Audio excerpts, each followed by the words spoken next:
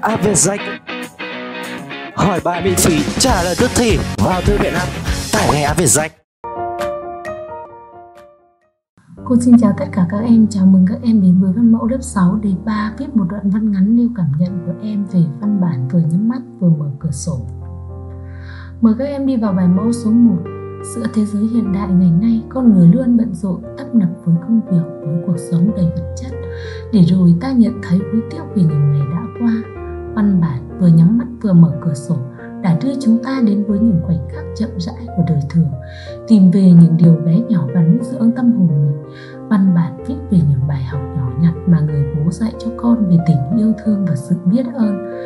Bạn đã từng có một khu vườn trồng rất nhiều hoa bao giờ chưa?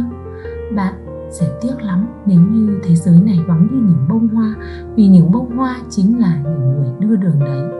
Người bố trong câu chuyện đã tự tay trồng cho cậu bé khu vườn và dạy cậu biết cách yêu thương, quan tâm đến những đóa hoa, ngọn cỏ. Từ văn bản, tôi học được sự yêu thương, học được sự tự tin, học được là mình cần quan tâm đến người khác. Tôi thấy tấm thía ra rất nhiều bài học. Tôi thấy yêu thương bố mẹ hơn, yêu thương những người quan tâm mình và tự nhủ mình cần biết quan tâm chia sẻ, biết tự hào và quý trọng về những gì mà mình có được. Văn bản còn khiến tôi cảm thấy yêu gia đình nhiều hơn khiến tôi cảm thấy bố là một người rất tuyệt vời. Bố có thể làm tất cả để con được vui và hạnh phúc. Qua văn bản tác giả như muốn nhắn nhủ chúng ta rằng chỉ cần bạn biết lắng nghe thêm một chút chú ý mọi thứ xung quanh hơn một chút bạn sẽ cảm thấy thế giới này đáng quý vô cùng những thứ đó tôi đã học được ở cậu bé trong chuyện, ở nhà văn nguyễn ngọc thuần và ở cả vừa nhắm mắt vừa mở cửa sổ.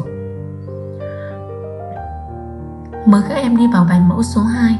Văn bản vừa nhắm mắt vừa mở cửa sổ đã đưa chúng ta đến với những khoảnh khắc chậm rãi của đời thường, tìm về những điều bé nhỏ và nuôi dưỡng tâm hồn mình. Văn bản viết về những bài học nhỏ nhặt mà người bố dạy cho con về tình yêu thương và sự biết ơn. Một món quà luôn giữ gắm tình cảm tâm ý của người gửi. Bởi vậy dù là người nhận hay cho món quà một cách trân trọng thì cũng thể hiện nét đẹp của mình.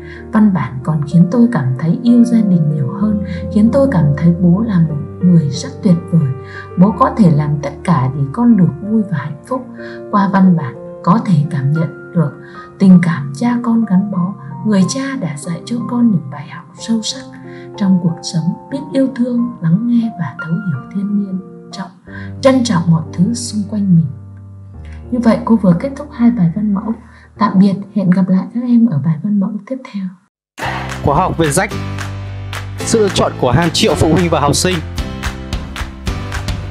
Trải nghiệm ngay khóa học của Vietjet